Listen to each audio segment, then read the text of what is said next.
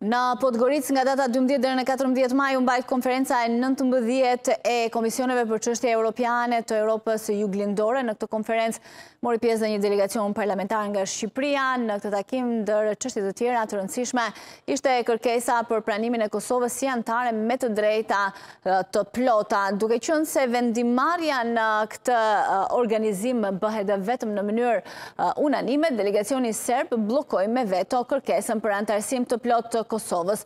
Në kundërpërgjigje, Shqipëria vendosi veton propozimeve të Serbisë për t'i përfshirë në rezolutën finale të konferencës.